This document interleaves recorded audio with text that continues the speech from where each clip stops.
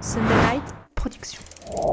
Vous vous demandez si ça vaut le coup de regarder Love Victor, la série LGBT de Disney ⁇ ou au contraire, vous l'avez vu et souhaitez en connaître les coulisses, les petites infos qui feront mouche pour votre prochain dîner entre amis, eh bien restez avec nous, on va tout vous dire et à la fin, durant le cliffhanger, vous connaîtrez notre verdict. Faut-il regarder Love Victor?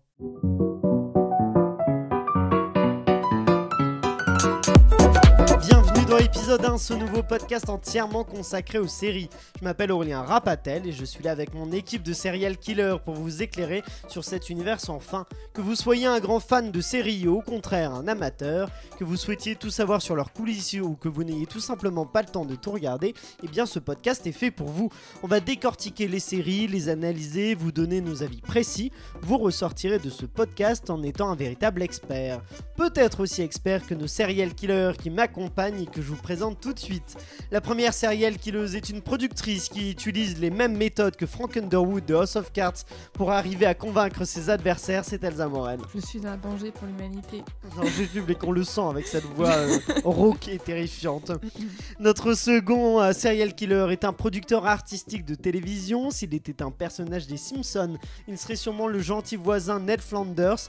Par contre, ne le provoquez pas, il pourrait vite se transformer en l'horrible patron Monsieur Burns. Il en a l'âge, c'est Florian Guillaume. Forcément, l'âge, ça Oh, devait c'était arriver. petit, oh, c'était facile. J'ai la même moustache que Flanders et j'en suis très fier. Eh ben, Est-ce que t'es gaucher non. Oh putain, dommage. Ça aurait été presque Pourquoi parfait. Pourquoi Parce qu'il est gaucher, mais enfin, Ah, on il a apprend une des boutique choses. sur les gauchers dans les Simpsons. Eh bien justement, cette serial killeuse qui parle attachée de presse. Elle ne comprend pas pourquoi Ryan Murphy n'a toujours pas écrit une série sur sa vie et le harcèle à ce propos. C'est Emma Salvarelli, ça va Emma? Écoute Ryan Murphy, si tu m'entends, ce n'est que la dixième fois que je t'appelle aujourd'hui. Comment s'appellerait cette série sur ta vie Emma? Le désespoir d'Emma. Ah le désespoir On a très envie de voir ça. Il y a Elsa qui, qui, qui buvait de l'eau et qui, et qui nous a fait... Heureuse de euh, te faire non. rire, c'est l'histoire de ma vie, écoute. hein. Non, mais je m'attendais pas à ça. ça m'a- Aujourd'hui, à l'occasion de l'arrivée de la section Star sur Disney+, nous nous intéressons à sa série Love Victor, qui suit le film Love Simon, sorti en 2018 au cinéma. Vous avez pu voir, je pense, un peu euh, partout euh, dans la, euh, dans, dans la ville, dans, dans votre ville, l'affiche de le- Love Victor avec ce jeune homme sur une affiche rouge pour promouvoir cette section Disney Star. Et je sens que vous êtes tous d'ailleurs impatients de nous donner plein d'informations sur cette série-là. Mais d'ailleurs, on va, on- avant ça, on va commencer par faire un petit tour de la ri- de l'actualité des séries à travers le monde. Vous savez que dans l'univers des séries, tout va très vite. Alors, annulation, reconduction, casting, tournage, info exclusive, vous allez tout savoir grâce à Emma Salvarelli qui va nous présenter le journal des séries que l'on surnomme l'Unagi News. Unagi est une sorte d'état de totale conscience des choses. Bonjour à tous et bienvenue dans cette nouvelle rubrique d'Unagi News. Pour commencer, on vous en parlait dans l'un des premiers épisodes du podcast, et pas l'épisode 1. Merci Elsa. Heureusement que toi tu es là pour rire à mes blagues. Il y avait un petit ronflement du côté d'Elsa. WandaVision vient de se terminer et si on se, on se demande Oh tous non. si une deuxième saison est prévue, le directeur des studios Marvel a fait savoir que malheureusement, non. Euh, Florian, t'as l'air dévasté Oui, déjà. je suis dégoûté. Attends de voir le dernier épisode, je sais que tu l'as pas encore vu. Pour rester sur le thème des nouvelles saisons, la nouvelle se fait, se fait attendre. Y aura-t-il une nouvelle saison de The Handmaid's Tales? Eh bien oui, on sait désormais que June, interprétée par Elizabeth Moss, entre en guerre pour renverser Gilead. Gilead Je sais pas si quelqu'un... Gilead, peut-être. Gilead, je ne sais Je sais pas, j'ai pas vu. Vous avez remarqué que je ne sais pas prononcer les choses dans mais, cette émission mais on le fera sûrement parce qu'apparemment c'est une très bonne série. Eh donc, ben, euh, parfait. Dès le 29 avril sur US plus 24 sur OCS.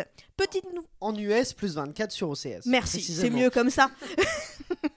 Petite nouveauté française de la semaine sur Netflix, Alain Chabat va réaliser une série animée Astérix. En effet, selon Parisien, Netflix et les éditions Albert René vont adapter la bande dessinée Astérix le combat des chefs en série d'animation 3D avec Alain Chabat à la réalisation. Last but not least, on parle de cette saison finale pour clôturer l'Unagi News. On termine The Walking Dead sur OCS.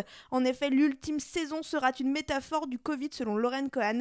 Euh, lors d'une, euh, elle était invitée à un podcast où elle a précisé que The Walking Dead sera grandement inspiré de la situation sanitaire actuelle. On a très envie de voir ça, du coup, ça donne, ça donne envie. Est-ce que vous voulez réagir sur une ou deux news de cette news Elsa, je t'ai vu. Ben, ah oui, j'ai hâte de voir la série d'Alain Chabat du coup avec Pareil. Astérix parce Ah, que voilà. Moi, j'ai C'est senti. Astérix qui fait réagir. Mais oui. En même bah, temps, Alain Chabat euh, avec Astérix, c'est toujours un bon mélange. C'est C'est ça, toujours un bon. euh, donc hâte de voir ça. Bah, Mission Cléopâtre, c'est un, c'est un- un chef-d'œuvre euh, de comédie. Ouais. Mm. Et euh, les derniers films d'animation sur Astérix qui ont été faits par Alexandre Astier étaient euh, géniaux. Donc moi, je suis très très impatient de retrouver ça. Et euh, il y, a, il y a des nouvelles quand même. il Y a, cette semaine, c'est chargé en nouvelles. hein. Il y a, d'autres choses. Il y a Walking Dead. Quelqu'un regardait ou pas Ou a commencé à regarder Parce qu'il y a 48 saisons, donc je sais pas. arrêté. vous- Ouais, moi je me suis arrêté il y a longtemps. Oui, c'est ça. Oui, donc bon, c'est pas, pas un événement total, surtout avec cette arrivée de, de- de- du Covid ou en tout cas cette, cette référence Non, à ça. mais euh, il fallait que ça s'arrête un jour et oh, ça y est, la nouvelle est tombée, ça va s'arrêter, on n'était pas sûr. Hein. Enfin, C'est la combien de saison C'est la 9 Ah oui, en fait, ça va. c'est 9 ou raisonnable. 10 je sais plus. Enfin, euh, voilà. Et, euh, et WandaVision qu'on avait fait dans, dans l'épisode 1, euh, final, euh, qu'on on ne révélera pas à ceux qui ne l'ont pas vu et à Florian notamment, mais intéressant. C'était et pour le coup, je trouve que ça confirme que c'est une quand même une bonne série, plutôt réussie. euh, WandaVision. Mais bon, merci pour toutes ces informations passionnantes, Emma. Avec Il est maintenant l'heure de rentrer dans le vif du sujet avec notre analyse et critique de Love Victor. Il est donc l'heure de passer. Et c'est Florian Guillot qui va ouvrir euh, ce, ce jeu en nous parlant des origines Ce de jeu ce jeu. Ce, euh, ouvrir, voilà, ouvrir. Ouvrir le bal. Ouvre la porte, voilà, le bal. ce- ouvre ce que tu veux, mais Ouvrir tu nous cette ouvres. tasse, on ne sait pas, on ne sait plus. On attend que tu, voilà, que tu ouvres quelque chose avec Très les bien. origines de, euh, de Love Victor. Alors comme le disait Aurélien dans son intro, Love Victor est donc basé sur le film de Greg Berlanti qui s'appelle Love Simon, Love Simon pardon, qui est lui-même basé sur le livre. Moi, Simon, 16 ans, Homo sapiens, qui a été écrit par Becky Albertalli. Et c'est devenu euh, un phénomène vraiment outre-Atlantique parce que euh, quand on parle de ce livre de Becky Albertalli, on parle de la première œuvre du Simonverse. C'est pour vous dire que vraiment euh, le- les personnages ont vraiment créé un univers à part entière. Près de deux ans après la sortie en salle de Love Simon, le film se décline donc en série. C'est tout aussi bienveillant, mais à certains égards, c'est un petit peu plus révolutionnaire, tout à fait subtilement. hein, on va pas complètement chambouler les choses. On est à mi-chemin entre Sex Education, High School Musical. Alors la musique en moins et la, ve- la di- la diversité en plus, ça je vais vous en parler un tout petit peu plus tard. Pourquoi Dawson Parce que Greg Berlanti, qu'on connaît tous ici pour être le papa de- des séries de super-héros DC Comics comme Arrow, Flash, Legends of Tomorrow ou même récemment Superman et Lois, qui est assez intéressant, qu'il faut voir, il a commencé sa carrière sur Dawson. Et les showrunners de Love Victor étaient aussi les scénaristes du film de Greg Berlanti, Love Simon. Et donc, tout comme dans Dawson, on a cet univers, un petit peu cette, cette- cet esprit qui se retrouve. On a un petit côté feel good, la justesse des émotions. On a aussi des épisodes qui sont très formatés pour un gros network. On a l'impression d'être un peu dans un cocon avec des cœurs qui ne sont jamais vraiment, vraiment brisés. Je vous parlais aussi de Sex Education, puisque là, on va parler évidemment de l'orientation euh, sexuelle des personnages, mais c'est beaucoup moins moderne que ne peut l'être Sex Education. Et je parlais aussi de diversité sur tous les plans, car là, on met le héros dans une triple position de minorité visible, euh, qui, donc euh, va chercher à s'assumer. Numéro 1, il est nouveau dans un lycée, et pour ceux qui ont déjà vécu cette expérience, on sait que c'est vraiment euh, une, sorte d'aventure d'arriver dans un nouvel établissement scolaire et d'arriver à s'intégrer. Le personnage est racisé. Alors pour nous en France, ça n'a peut-être pas une importance majeure, mais il faut savoir qu'aux aux États-Unis, le fait de placer un héros avec ses origines mexicaines, latino, c'est vraiment quelque chose de très important. Au passage, la communauté euh, euh, mexicaine latino, l'homosexualité, c'est pas toujours très bien vu dans cette communauté-là. Et troisième point de diversité, il est donc en recherche sur son orientation euh, sexuelle. Pour reparler très rapidement de Love Simon, le film qui a donc donné naissance à cette série, euh, on n'est ni sur une suite, ni sur un remake, c'est vraiment une autre variation euh, sur le thème du coming out adolescent. On fait évidemment un pont avec le film dont on va certainement parler, mais euh, il faut vraiment le voir comme une autre variation. Le film avait extrêmement bien marché, mais les scénaristes entendaient toujours la même critique qui consiste à dire que le film, même s'il était nécessaire et très réconfortant, ne représentait pas vraiment l'expérience de coming out des gens. Alors les, deux euh, showrunners, euh, Elisabeth euh, Berger et Isaac Aptaker, ont donc commencé à se demander s'il y avait une histoire à raconter où ils pourraient représenter des expériences d'adolescents qui, ont- qui n'ont pas eu la vie aussi facile et dont la famille allait mettre un petit peu plus de temps à accepter. Et c'est là qu'ils se sont tous dit que la télévision était un excellent moyen de raconter cette histoire, parce qu'au cinéma, les personnages doivent arriver à une conclusion au bout de deux heures, alors qu'à la télévision, les gens peuvent grandir sur des longues périodes. Ils commencent à un endroit, ils vont finir à un autre, et c'est vrai aussi bien pour le héros qui va euh, se chercher, se découvrir, que pour la famille qui doit avoir une réaction et qui n'était peut-être pas faite pour euh, entendre ce genre de nouvelles à la base. Bah, merci beaucoup euh, Florian Eh pour, bah, de euh, rien. pour toutes ces, euh, toutes ces d'avoir ouvert déjà. Merci d'avoir ouvert. Avoir ouvert le jeu. Euh, d'avoir ouvert le jeu. Emma, est-ce que tu pourrais nous résumer ce premier épisode de Love Victor? Bien sûr, et bien comme l'a dit Florian, on part sur trois points essentiels. Euh, donc c'est l'histoire de Simon. J'allais dire Simon. Non, Simon, Oui, Simon, J'ai eu un petit bug. C'est l'histoire de Victor qui déménage euh, à cause du travail de son père dans une nouvelle ville. Euh, le nom de la ville que je n'ai pas absolument pas retenu. Creekwood. Creekwood, merci. Et euh, va du coup arriver dans un nouveau lycée. Pardon, pardon, je te dis une bêtise, excuse-moi. Creekwood, c'est le nom du lycée, il est à Atlanta, il est dans la banlieue d'Atlanta. Merci beaucoup. Oui, il vient du Texas, donc euh, on change complètement euh, d'univers et d'état. Donc Victor arrive dans cette nouvelle ville et ce nouveau lycée va essayer de, se trouver une place et aussi se trouver une place intérieurement. Donc trouver qui il est et par qui il est attiré sexuellement. Elsa, si, euh, si, euh, c'était, si ce n'était pour épisode 1, est-ce que tu aurais été attirée, non pas sexuellement, mais euh, artistiquement par Love Victor? Ah, non, mais déjà, Love Victor, je- moi, c'est pas une série que j'ai vue dans les médias ou quoi que ce soit. Enfin, donc j'aurais peut-être pas. entendu- Ouais. Alors, c'est comme le disait Florian, elle est sortie sur Hulu, Oui, ensuite ouais, il y a- y, y un passage. Il y a un an. Il y a- Oui, il y a, un an. En donc, euh, 2020. c'est- ouais, Ouais, voilà. donc, donc voilà, donc j'en, j'en avais pas entendu parler, mais effectivement, moi, c'est surtout les thématiques sociales qui m'attirent dans cette série. Donc effectivement, je, je regarderai. Enfin, je, je- Donc- non, je dis pas mon cliffhanger. La question c'est est-ce que tu aurais regardé Je- hors euh, le podcast Bah non, parce que j'en avais pas entendu parler.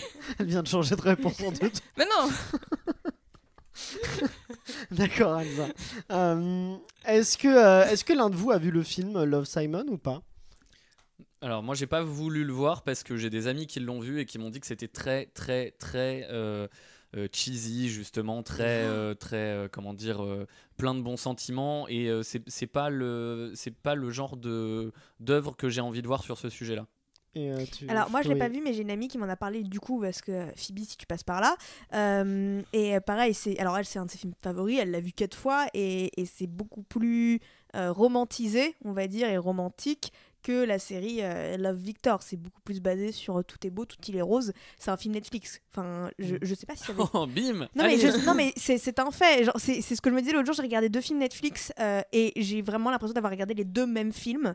Et, et c'était un peu ça en fait. C'est qui est la différence avec Love Victor, je trouve. Mais après, je pense que c'est bien quand même de commencer avec Love, euh, Love Simon pour pouvoir amener petit à petit les spectateurs euh, qui auraient vu le film euh, dans une dimension. Moi, j'ai pas vu le film personnellement, mais euh, et puis en, en plus, j'aime bien le fait de voir comment la série aussi peut parler aux gens qui n'ont pas vu le film.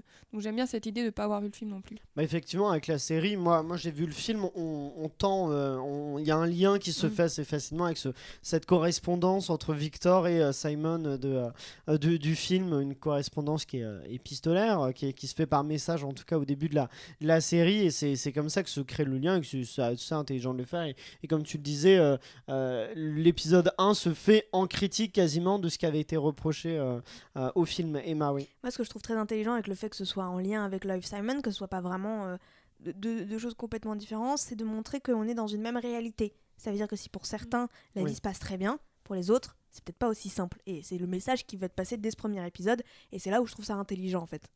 Euh, on t'a évoqué Florian Sex Education et c'est vrai que c'est aussi une série qui parle d'orientation sexuelle par exemple. Euh, vous, euh, est-ce qu'il y, en a parmi vous qui regardent Sex Education justement?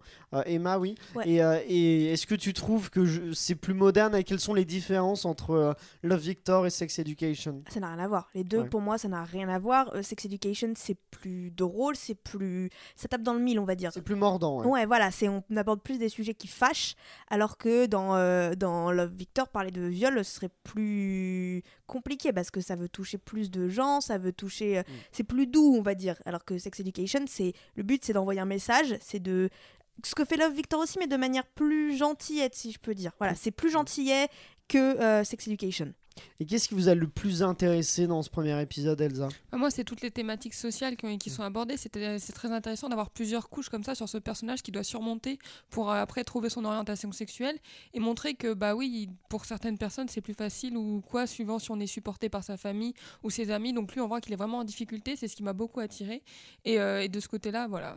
Emma Aussi, toi, Florian, tu nous parlais de donc de de- d'origine, tu nous parlais de sexualisation, mais il y a un autre sujet important dès le premier épisode, c'est euh, le comment dire les revenus, c'est l'argent aussi, c'est quelle position on a socialement avec ça, parce que euh, Victor est représenté comme un personnage à des revenus modestes, même sa, sa sœur est harcelée à cause de ça. Mhm. On, il- dès le premier épisode, on la harcèle à cause de ça aussi, donc euh, c'est un sujet qui est quand même au cœur, autre que tout. En fait, tout est mélangé pour que quelqu'un, je trouve, puisse s'y retrouver dès ce premier épisode. Florian, toi, qu'est-ce qui t'a le plus déplu dans ce premier épisode à, à l'in- à Alors, l'inverse qu'est-ce qui m'a le plus déplu? C'est peut-être que euh, on est encore un petit peu trop tendre, un petit peu trop rose bonbon. euh, même si je trouve plein de qualités au fait, rien que le fait que l'œuvre existe, je trouve que c'est déjà quelque chose de, super. Mais si, si tu me demandes euh, ce qui m'a le plus déplu, c'est peut-être que le héros est un peu trop parfait. trop bon, trop gentil et que trop vertueux en fait voilà il, il- n'a aucun défaut et il y a beaucoup de personnages qui n'ont aucun défaut à part on va dire Andrew qui est un, qui est rapidement un peu un peu un peu méchant un peu rustre et Félix qui est légèrement maladroit Et tous la les mère, autres La mère aussi. euh, Oui, mais ça reste des modèles- par Anna Ortiz. ça reste des modèles de vertu. Alors c'est super pour euh, euh, des parents qui se retrouveraient dans ce genre de situation pour voir comment réagir, que ce soit, euh, que ce soit avec, avec le personnage de Victor ou avec le personnage de sa sœur, qui vit elle aussi des, des- des- moments dans, sa, dans son début de vie amoureuse. Voilà, ça peut être intéressant, mais c'est trop des modèles de vertu. Et, et le vrai problème, moi, que, que je peux avoir avec ça, c'est que je ne saurais pas vraiment définir les personnages euh, plus que ça. Ils sont pas très bien caractérisés pour moi si ce n'est avec des gros traits comme la maladresse de Félix et euh, le côté un peu sportif hétérobof euh, d'Andrew qui est Mhm. très, aussi un peu caricatural. Elsa. Bah, je trouve que le scénario est très lisse. Si t'enlèves de- pour moi toutes les thématiques sociales, c'est quand même très, cli- très cliché et très classique. Je veux dire, il y a les cool kids, les kids un peu. Félix, il est un peu maladroit, mais on va se douter quand même qu'il va devenir ami avec le personnage principal. Enfin, pour moi, euh, c'est tout est prévisible de ce côté-là dans le scénario. On sait un peu que bah, qu'il va peut-être avoir une histoire avec Mia, et puis en fait, euh, on, il va plutôt se diriger parce qu'en plus dans le scénar- dans le, le premier épisode, il y a un ralenti fait sur Benji qui, pour moi, ce ralenti n'aurait pas dû être fait. Au Mhm. moment où on présente le personnage, euh, Bah, c'est assez cliché, quoi. Ouais, c'est c'est cliché et surtout que c'est un personnage qui dit qu'il sait pas trop où il en est et en fait en montrant le ralenti sur Benji bah, tout de suite on a quand même une idée de où il en est dans sa sexualité parce que peut-être s'il n'avait pas eu le ralenti ça, ça aurait fait que Benji bah, c'est peut-être un personnage à qui ce serait ouvert plus tard mais là on sent qu'il a tout de suite une, attiran- une attirance donc euh, je sais pas ça m'a un peu M- Moi, j'avoue que narrativement, ce qui m'a le, le plus embêté, euh, c'est que j'ai l'impression que c'est un peu une série euh, préconçue, quoi, un peu euh, bateau. À part effectivement, encore une fois, les thèmes qui sont importants, et c'est très bien que Mm, euh, mm. Disney Plus mette sur sa plateforme une série qui est ce thème-là. Mais, euh, mais euh, par contre, je pense à des séquences où en fait il y a un enjeu, ils sont dans une discussion au- autour de quelque chose, je sais pas, un élément problématique, et ça s'arrête en plein milieu, et Mm. on passe à une séquence d'après où ils sont euh, sur autre chose ou alors le truc a déjà été résolu. Et j'ai l'impression que c'est euh, tout comme euh, je sais pas les, des séries américaines qui Mm. sauraient pas comment faire avancer comment terminer une séquence et ben on coupe en plein milieu on passe à la séquence suivante. Et pareil la séquence suivante coupe en plein milieu. Et ça c'est j'ai vu les quatre premiers épisodes et dans le dès le premier épisode on peut voir ça quoi. Il y a, y a un élément de truc on veut garder le suspense bam on passe Mm. directement à la séquence suivante. On sait pas comment s'est terminée la discussion. Et c'est très préfabriqué c'est très ça manque c'est pas très je trouve que ça manque d'artistique en fait c'est un peu euh, la série que Disney voulait faire euh, ben, c'est Hulu à la base je, je le rappelle mais en tout cas une série que Disney héberge en se disant voilà ça va me donner euh, bonne figure Emma Bah, ça marche. C'est qu'on le veuille ou non, c'est des séries qui marchent et des séries qui plaisent au grand public. Donc c'est, je suis d'accord avec toi sur ces points-là, mais ça reste quand même un, un produit qui va marcher, qui va plaire, parce que c'est du, du divertissement pur en fait. c'est ça mais du coup c'est un produit c'est pas tellement Ah oui. euh, c'est, c'est pas tellement euh, une œuvre hein, Florian Après, il faut pas minimiser le fait qu'il y a certaines personnes qui ont regardé euh, cette série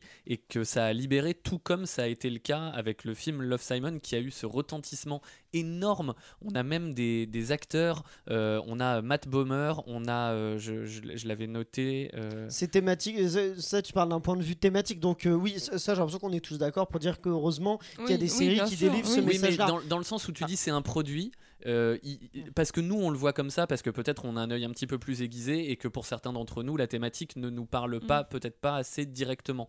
Mais je, je trouve qu'il faut pas minimiser quand on dit que c'est un produit, donc dans notre bouche c'est peut-être un petit peu euh, péjoratif.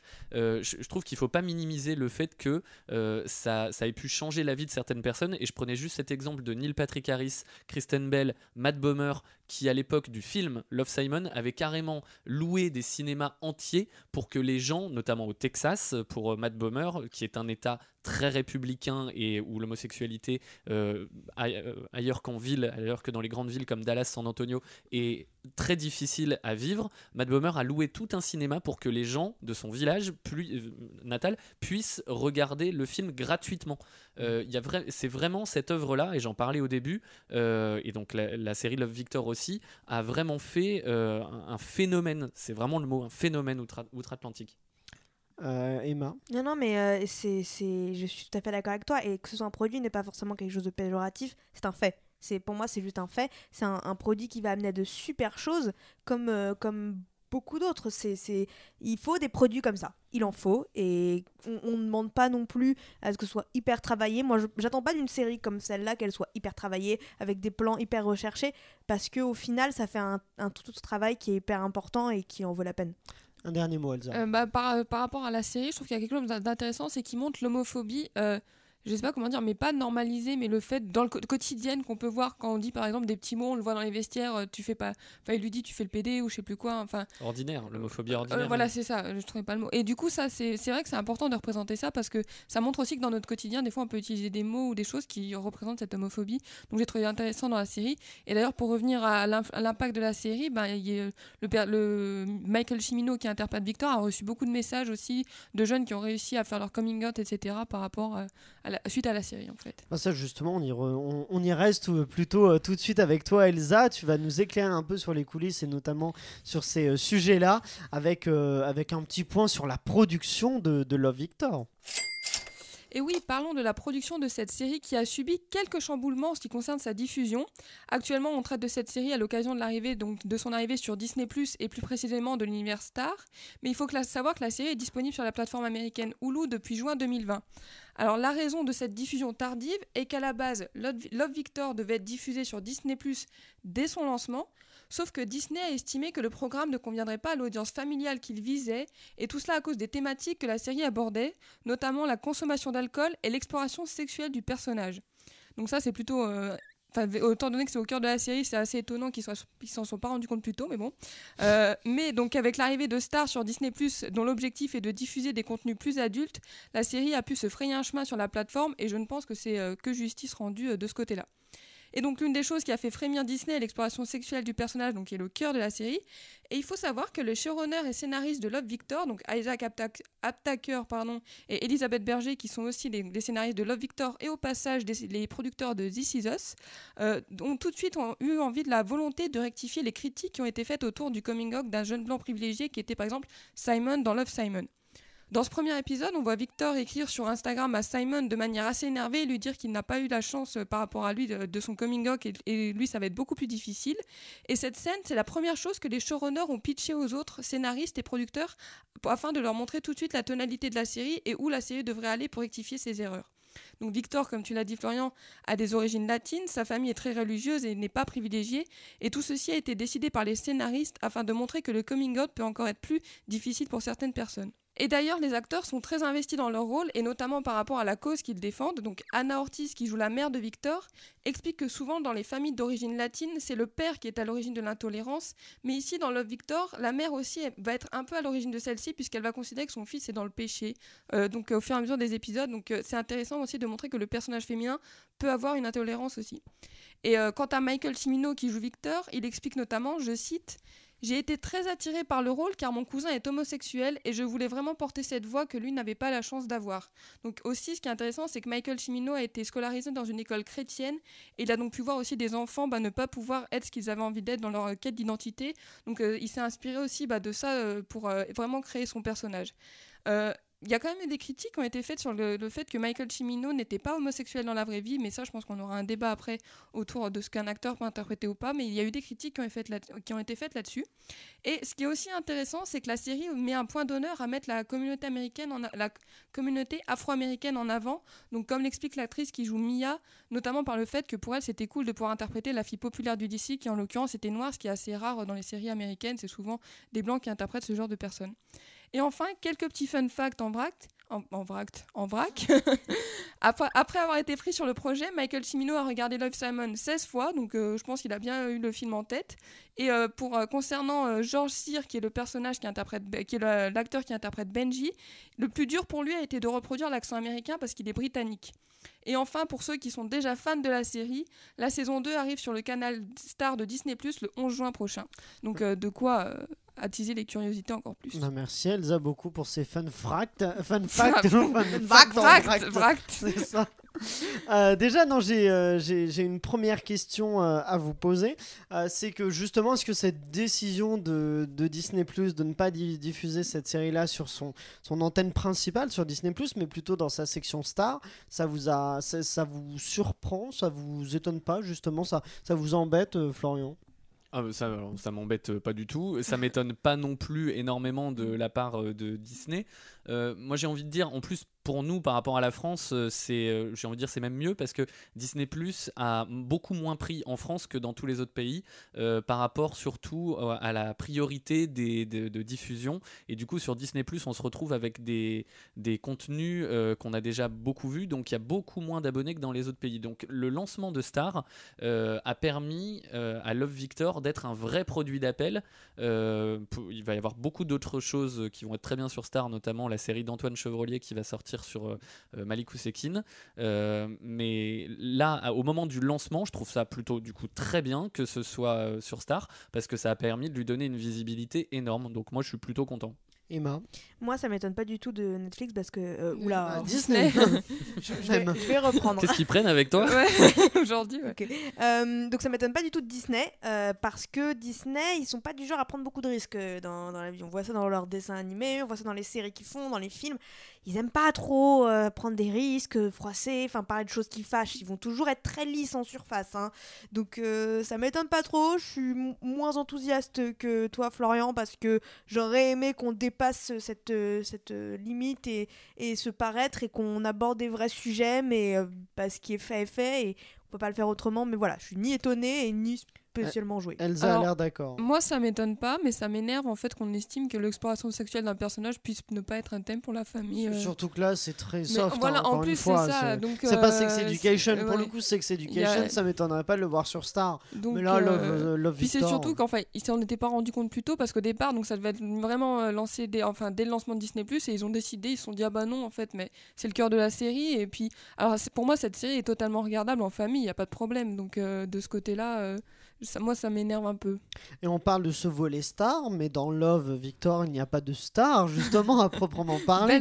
Il y, a, il y a Anna Ortiz, pourquoi pas, qu'on a vu dans Devious Mates par exemple, et qui est tout simplement excellente et aussi excellente dans Love Victor. Est-ce que c'est euh, c'est un handicap pour euh, ce- cette série-là ou au contraire ça va révéler des nouveaux talents comme euh, Michael Cimino par exemple Emma? Moi je trouve qu'on s'en fout enfin On s'en fout très bien. non, Non, mais, mais, voilà justement, ça peut être positif pour révéler d'autres talents. voilà c'est ça euh, ce que- c'est ça le fait qu'il n'y ait pas de de- d'acteurs que j'ai pu déjà voir quelque part j'en ai eu enfin ça m'a ça m'est passé au dessus enfin ça m'a pas changé le plaisir de la série quoi que ce soit Florian. Je suis d'accord avec Emma. Je pense que ça va même aider à l'identification au personnage. Le fait qu'on n'ait pas de, de référence d'autres œuvres, ça va aider à voir ces acteurs comme vraiment les personnages. Ça va aider à l'identification. Elsa Mais c'est ce que j'avais dit pour le jeu de la lame. Je trouve que maintenant, la marque Disney ou Netflix, bah, ils ont plus besoin d'avoir des stars dans leurs séries, en fait, parce que la marque est tellement forte qu'ils peuvent se permettre de lancer des séries et les gens vont savoir qu'il y a de la qualité derrière, donc ils vont regarder. Donc pour moi, c'est pas un problème. Puis effectivement, comme dit Florian, ça aide à l'identification des personnages, aux personnages. Euh, Elsa, tu euh, posais une question qui revient souvent et qui est inhérente euh, à cette série-là, Love Victor. Michael Cimino est un, est un acteur qui n'est pas homosexuel, qui incarne un personnage homosexuel et c'est un débat qui, qui revient régulièrement. Ça vous embête, vous, que pour cette série-là qui parle d'identité sexuelle, on puisse, avoir, on puisse faire appel à un acteur qui, qui n'est pas lui-même homosexuel euh, Florian Mais pas du tout.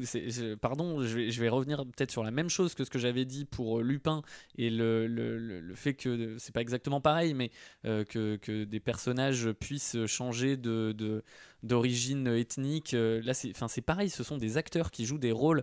Euh, je crois que tu as reçu dans un autre podcast qu'il faut que vous alliez écouter donc la pense euh, Axel Orion qui a joué un jeune homme homosexuel dans la série Scam qui et, lui est hétérosexuel et ça ça l'empêche pas de donner beaucoup de crédit et de de pas de crédit mais de Bah, de véracité quoi, à, son, de, ouais. voilà, à son personnage. Donc euh, non, ça m'ennuie pas. Ça m'ennuierait pas plus qu'un acteur homosexuel joue ce rôle. Je m'en fiche, peu importe. Je, qu'un acteur je homosexuel donne- joue un rôle hétérosexuel. Absolument, je, je veux qu'on donne du crédit à un personnage.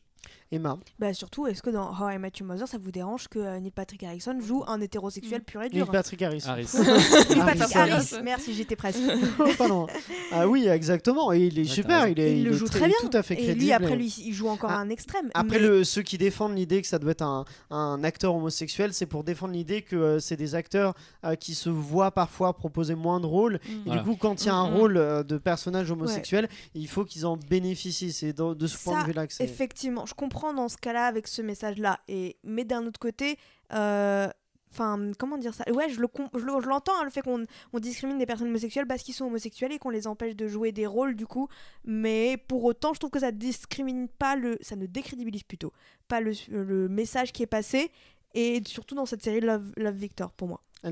Alors moi je suis d'accord avec le fait qu'un acteur pourrait jouer euh, tous les rôles qui soient possibles, mais je pense que ce qui peut déranger c'est le manque d'équilibre entre les, les, acteurs hétérosexuels qui jouent des homosexuels et des acteurs homosexuels qui jouent des hétérosexuels. C'est peut-être ça qui peut gêner et aussi, mine de rien, quand t'as un acteur homosexuel qui joue dans une série comme ça, qui met en avant l'orientation sexuelle, politiquement c'est plus fort je trouve. Donc je pense que je comprends pourquoi ça dérange de ce côté-là en fait. D'accord. Et euh, mais justement, au-delà de, l'innovation de cette représentation sociale euh, que fait la série, est-ce que vous trouvez que scénaristiquement, on, l'a un peu abordé tout à l'heure quand je, parlais de ces séquences qui étaient avortées pour passer à autre chose, euh, est-ce que vous la trouvez dans son écriture réussie ou pareil, c'est un peu comme ce qu'on disait tout à l'heure, c'est un peu préfabriqué, euh, euh, élément déclencheur, euh, parti et là, faut qu'il y ait un obstacle révélateur. c'est un peu un facile ou pas pour toi, Bah, scénaristiquement, effectivement, j'irai pas jusqu'à dire facile parce que c'est encore une fois un terme que je trouve un peu péjoratif, mais, mais euh, c'est peut-être un petit peu prévisible.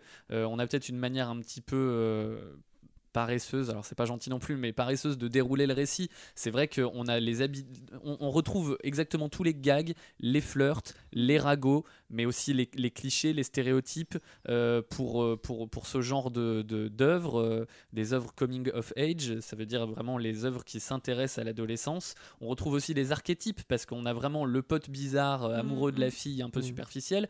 On a le méchant sportif, on a la sœur insupportable. Donc c'est c'est fait peut-être avec des gros traits. À ça, ils arrivent quand même à rajouter ce qu'on voit assez peu des enjeux familiaux, culturels, religieux. Mhm. religieux, on le sent pas trop dans ce premier épisode, mais ça va arriver euh, dans le reste de la série, surtout rapport à leur origine euh, euh, latino. Donc euh, il y a quand même un, un- un travail euh, où, où ils essayent de dépasser ça. Ça reste, euh, ça reste fait avec des grosses ficelles, je suis d'accord. Et en termes de mise en scène, est-ce que la mise en scène, elle est aussi, euh, elle, elle euh, suit ces grosses ficelles là, Elsa? Bah, je la trouve très classique. Pour moi, je n'ai j'ai pas vu d'innovation sur des idées, à part effectivement ce gros ralenti qui sort un peu, euh, qu'on voit venir. Donc, Qui est très classique qui aussi. est donc, classique, euh, qui est hyper classique et qui pour moi casse le truc, mais euh, enfin voilà. Florian.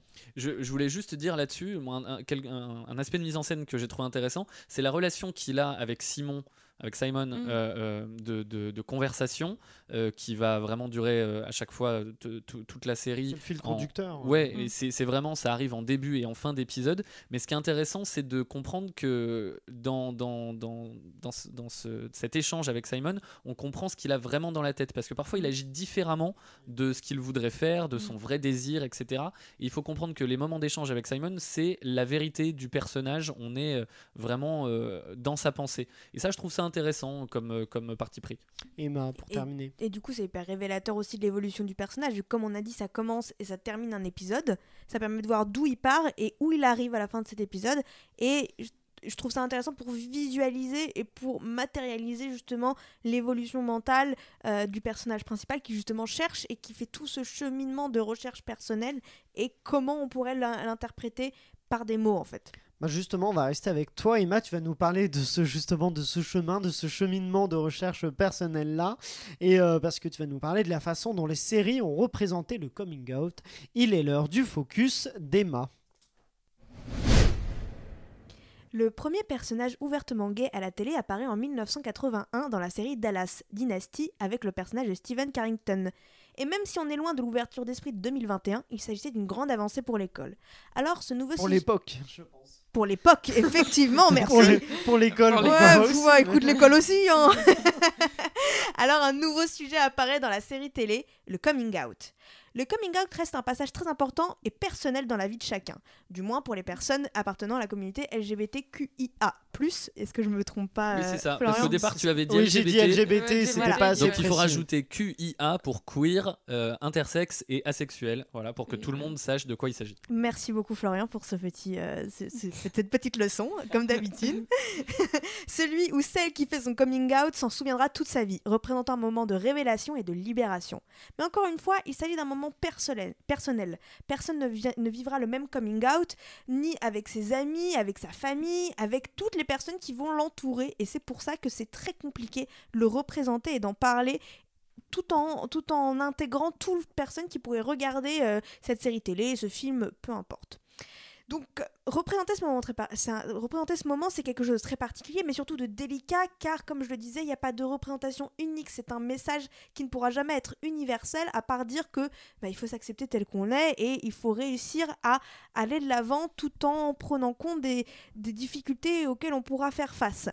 C'est d'ailleurs un message qui est le plus important, voire le premier message important de euh, Love Victor, euh, car il est en colère contre Simon, le personnage du film, qui pour lui représente une vision parfaite du coming out, qui est simple où tout le monde l'accepte. Cependant, lui, la réalité n'est pas tout aussi simple.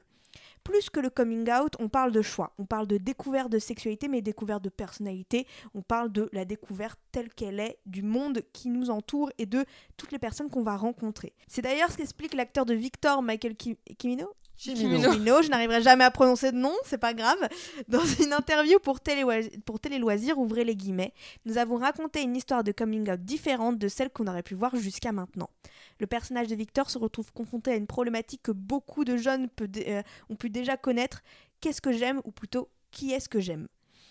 Victor se met alors l'obligation de se trouver une case dans laquelle il doit se mettre. Autre problématique de Victor, c'est ses parents, comme on a pu en parler, qui sont hyper croyants et on sait quand même que la religion catholique n'est pas le meilleur ami des LGBTQIA.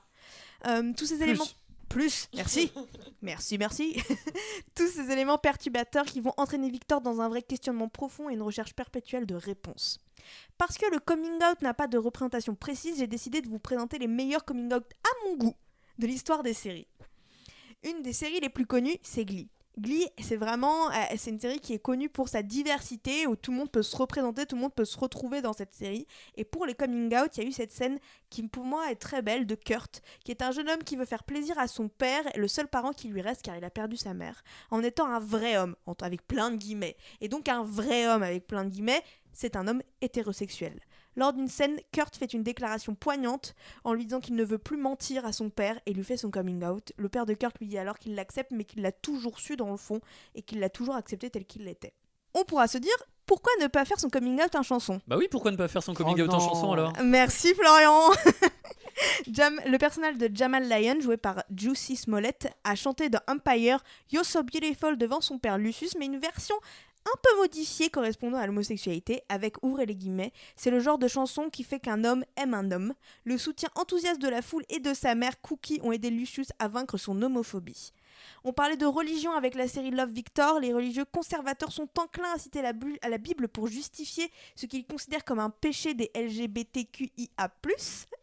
Sarah Ramirez, en tant que Kali dans Grey's Anatomy, les a battus à leur propre jeu. Lors de son coming out, elle a rencontré son père qui est religieux et le prêtre qui l'a amené, en citant des versets bibliques qui soutiennent l'amour queer. J'ouvre les guillemets. Vous ne pouvez pas prier pour éloigner les gays, lui dit-elle dans la scène animée, et se référant à Matthieu Euh, verset 5, 10. Bénis sont ceux qui ont été persécutés pour la justice, car le royaume des cieux est à eux. Amen. Enfin, si dans le film Love Simon on poste un message d'amour sur internet, d'autres choisissent des manières plus littéraires, la poésie est un moyen merveilleux pour déclarer ses sentiments et de confesser les désirs de son cœur, comme l'a démontré Jack dans cet épisode novateur de la saison 2 de Dawson. Chose que j'aimerais beaucoup euh, partager avec euh, cet épisode d'épisode 1. Cet épisode d'épisode Oui, 1, on oui. peut y aller. Oui, oui. Euh, c'est que le, le- votre orientation sexuelle n'est pas un choix. Vous êtes qui vous êtes. Vous décidez de, de, de- soit de l'assumer ou pas. C'est vraiment compliqué à, le faire parce que ça reste un moment capital dans une vie d'affronter le jugement des autres. Mais sachez que vous n'êtes pas seul et que vous n'êtes pas obligé de choisir. Vous pouvez aimer qui vous voulez aimer. Vous n'avez pas, vous n'êtes pas obligé de vous mettre dans une case. Vous pouvez être la personne que vous avez envie d'être et c'est hyper important. Il y a des associations qui sont là pour vous aider, pour entendre et pour vous écouter. Donc assumez-vous parce que ce sera la meilleure chose qui pourra vous arriver dans votre vie.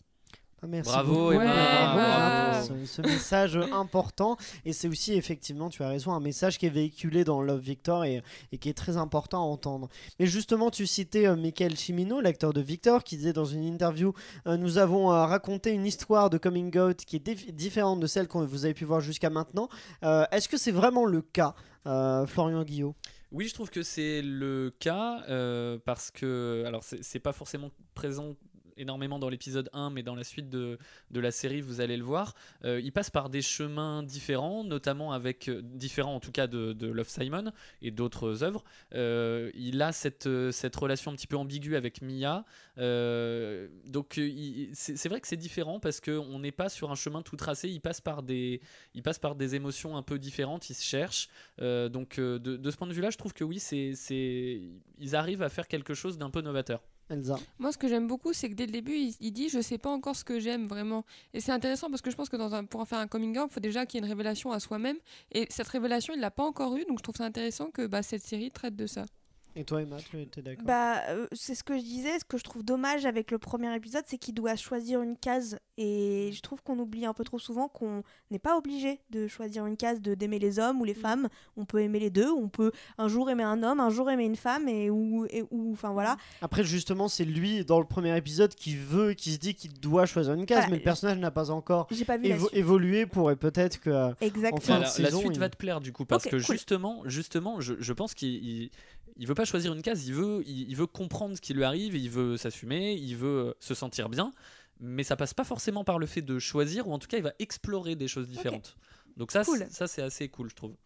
Est-ce que vous trouvez justement que, euh, Love Victor traite de- d'identité sexuelle intelligemment? Est-ce que pour vous, c'est ça c'est réussi ou il y, a des- il y a des défauts dans la façon de représenter ça, euh, Florian? Alors pour moi, le problème à ça, c'est que euh, vraiment l'homosexualité devient, et, le coming out devient vraiment le, cœur de la série et du propos. Et les personnages euh, ne sont que ça, entre guillemets. Et ça me fait penser un petit peu au problème qu'on appelle le syndrome de la Schtroumpfette. Attention, c'est le moment leçon. non, mais le syndrome de la Schtroumpfette, donc les Schtroumpfs, tout le monde connaît, euh, œuvre des années 50-60, où on a euh, un village peuplé simplement d'êtres masculins qui ont tous un adjectif qualificatif de, qui, le représente ou de métier. On a le schtroumpf bricoleur, le schtroumpf cuisinier et de adjectif, adjectif qualificatif, schtroumpf- le schtroumpf maladroit, le schtroumpf gourmand. Et on a la schtroumpfette. Et le syndrome de la schtroumpfette, c'est ça, c'est qu'un personnage soit là simplement parce que c'est une fille. À l'époque des Schtroumpfs, c'était ça. Et ce, ce n'était que ça. Là où les autres ont une caractéristique, elle, sa caractéristique, c'est simplement le fait d'être une femme. Et ça, ça a vraiment posé problème. Et aujourd'hui, juste pour rester sur les Schtroumpfs, ils ont changé de braquet en, en- faisant découvrir un village des filles. Le problème qu'on pourrait résumer à ça au syndrome de la Schtroumpfette pour moi, c'est que euh, le- les personnages euh, ne sont que leur orientation sexuelle. Ils sont pas beaucoup plus que ça. Et, euh, et je trouve que du coup, euh, la, série gagnerait à ce que euh, ce thème-là soit euh, un petit peu plus secondaire dans le traitement, en tout cas qu'ils aient d'autres objectifs, qu'ils aient d'autres préoccupations et que, que ce soit des gens comme tout le monde qui ont ce problème-là aussi à régler, mais pas que. Emma? Ouais, juste, je trouve que ben, c'est compliqué pour euh, moi, par exemple, qui n'ai vu que le premier épisode, de parler. Est-ce que c'est traité intelligemment ou pas? Apparemment, de ce que tu me dis, Florian, pour la suite, c'est déjà un peu plus cool. Mais dans tout cas, avec juste ce premier épisode, je trouve ça limité. Et c'est pour ça que dans, le, dans ce podcast-là, en fait, on, on voit à la fois ce double entre ceux qui ont vu qu'un épisode, que le premier épisode, et d'autres qui regardent plus largement la saison. C'est pour avoir ce double regard sur, sur ce qu'est une série à partir de son premier épisode et aussi à partir de, de, de son intégralité. Euh, j'ai- J'aimerais bien juste vous poser une dernière question avant les recommandations. Est-ce qu'il y a une série inclusive qui vous a marqué euh, pour en recommander peut-être euh, Elsa? Moi, j'avais beaucoup aimé Glee Glee, à ouais. l'époque parce que bah, ça parlait bah, de la communauté afro-américaine, de la communauté, la communauté trans, enfin de vraiment plusieurs personnes qu'on réunissait autour d'un- d'une même passion et ça, j'avais adoré. Emma? Pour, juste pour rebondir, je suis Glee, c'est pour moi l'une des premières séries où tout le monde, mais littéralement tout le monde, même il y a, il y a des nains, il y a tout le monde peut se retrouver dans cette série et avoir un personnage qui lui correspond. Moi je dirais Scam, que j'aime beaucoup et qui est très inclusif. Scam France ou euh, parce qu'il y a plusieurs versions Toutes euh, les versions. D'accord, toutes les versions de, de Scam. Toutes les versions. D'accord, et Florian? Moi, ce serait Queer as Folk parce Mm. que vraiment dans les années 2000, ça a été une série euh, incroyable euh, et, qui est encore euh, que vous pouvez regarder, qui reste très moderne euh, dans son propos, pas forcément dans l'artistique, l'image, les tenues. Vous allez voir, c'est assez vieillot, mais il y a une représentation de la sexualité là pour le coup qui est très très franche, voire crue. Euh, mais qui au moins euh, nous plonge vraiment dans une réalité quoi. Et euh, donc ça c'est vraiment la version anglaise n'a que deux saisons, elle est super. La version américaine qui est une adaptation en a cinq. C'est très bien aussi, franchement, pour ceux qui aimeraient. Les plus jeunes de nos auditeurs qui ont besoin de ce genre d'œuvre pour, euh, pour, euh, pour euh, comment dire, Pour se, oui, se, se- se- apprendre à se connaître, à se construire. à se- Ouais, exactement, pour extérioriser ce genre de choses parce qu'ils sont, ils peuvent pas le faire dans leur vie de tous les jours. Je leur recommande Queer as Folk. Et moi, je dirais des séries de Ryan Murphy, comme Hollywood, par exemple, même American Horror Story, où il y a des personnages, euh, ou, euh, ou euh, The- des politicians, et sinon euh, Sense8, euh, excellente série des, des Wachowski sur, sur Netflix que je recommande chaudement. Mais restons justement avec ces, ces recommandations, et avec toi, Florian, qui va nous dire si nos auditeurs ont aimé Love Victor, quelles autres séries ils pourraient apprécier?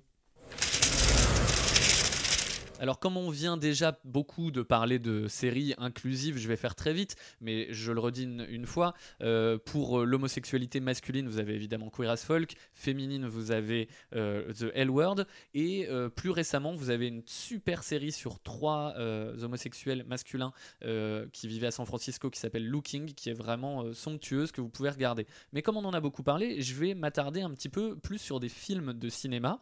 On a évidemment Love Simon, si vous voulez pouvoir voir le Simonverse euh, dans son intégralité.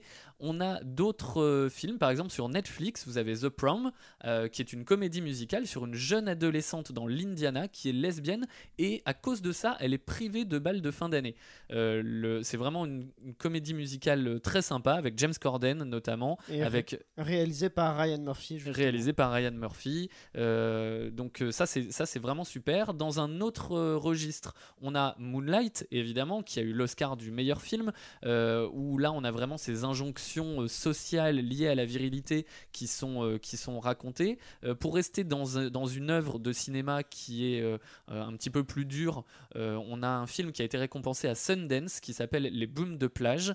On est avec un mec qui, avec ses amis, est vraiment viril, macho, drague des, des- femmes et qui vit son homosexualité en cachette via des sites de rencontres. Et ça, c'est quelque chose qui existe vraiment. Euh, pour parler d'un film français, on a Quand on a 17 ans avec Kessie Motéclin et Corentin Fila, euh, vraiment sur l'exploration de la sexualité au, moment du, du lycée.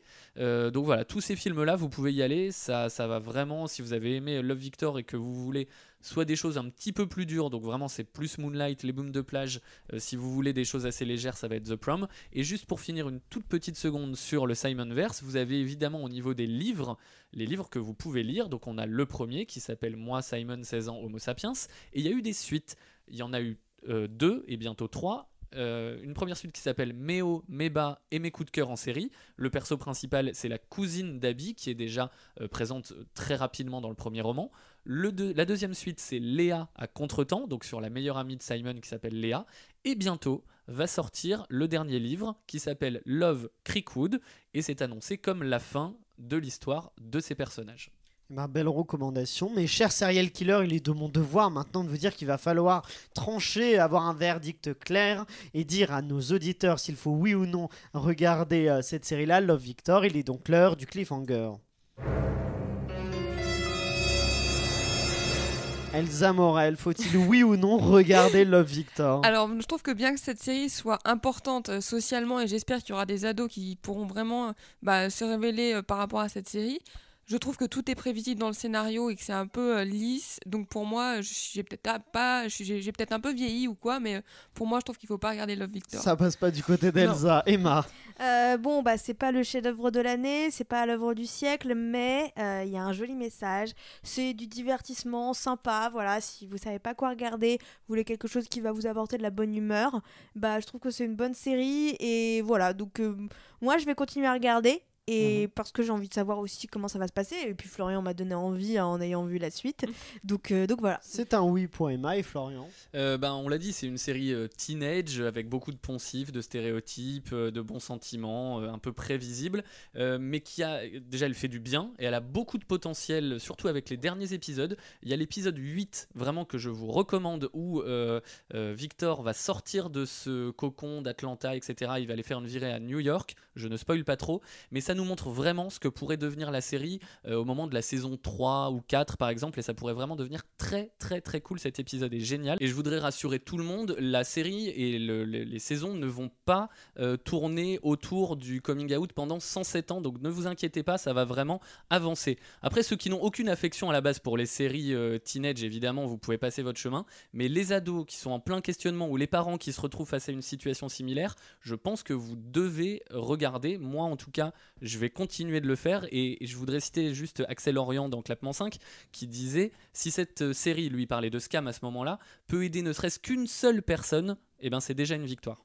Ah oui, il faut un beau, message d'Axel avec lequel je suis tout à fait d'accord et je, reviens avec tout ce que vous dites. Je pense que c'est une série qu'il faut voir, euh, bah, qui, qui mérite de- d'exister parce qu'elle euh, raconte un message qu'on voit pas assez souvent et qui est, qui est très intéressante. Et euh, tous les jeunes qui, qui se questionnent devraient voir cette série-là. Et après, si on veut une série un peu artistique, on n'est pas, c'est pas ce rendez-vous-là qu'il faut prendre.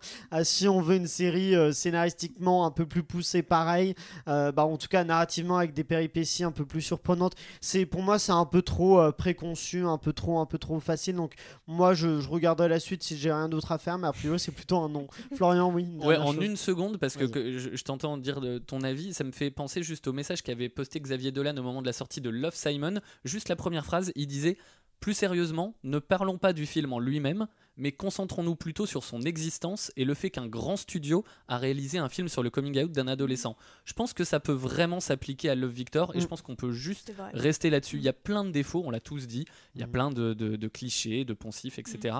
Mais rien que le fait que ça existe, c'est déjà génial. Voilà, bah, chez vous, n'hésitez pas à nous dire sur les réseaux sociaux avec le arrobase épisode 1 podcast euh, si euh, vous regarderiez ou pas. Parce que là, pour l'instant, on est sur un, un avis euh, Euh, euh, mitigé. Avec Mitigé. Elsa, on est plutôt non. euh, Emma et Florian, plutôt oui. Mais vous pouvez nous dire ça en commentaire et nous dire aussi si vous avez appris des choses et si vous, vous avez des choses aussi à nous apprendre sur cette série-là. Mais restez avec nous car on va vous mettre au défi tout de suite dans, tout de suite dans un blind test série. Vous pouvez jouer chez vous, tout seul ou entre amis. C'est fait justement pour tout le monde. Et il y a un enjeu en plus dans ce euh, blind test c'est que le serial killer qui le remportera pourra choisir une, sé- une série sur laquelle on s'attardera prochaine fois, une série qu'on traitera. Pour le coup, c'est toi, Florian, qui a choisi de Love Victor. Absolument. une de tes victoires, un des, précis- un des précédents épisodes. Mais je vous propose justement, avant de commencer ce petit blind test, il faut quand même le jingle qu'on adore tous. C'est parti. I accept that challenge. Challenge accepted. Est-ce que vous acceptez ce challenge de Bien remporter ce blind test Un blind test qui aujourd'hui est un blind test réplique de série en VF, toujours pour compliquer un petit peu la chose. Vous êtes prêts? Ouais. Oui. Ah bah c'est parti, on va commencer directement avec le premier. Au début, quand tu m'as parlé de ton idée de Jenga géant, J'ai- j'étais plus que sceptique. The Big Bang Theory. The Big Bang Theory, c'est qui, Bravo. qui t'a C'est la voix qui t'a. Ouais. Un point pour Emma sur J'aime pas ça, je la sens on fire. C'est-. C'est Sheldon avec son euh, avec son euh, c'est quoi c'est Capla géant c'est euh, Jenga, le Jenga. Jenga Jenga. C'est- Euh, ok bah un point pour Emma, on continue avec celui-là. Tu vas les laisser partir. Sinon quoi?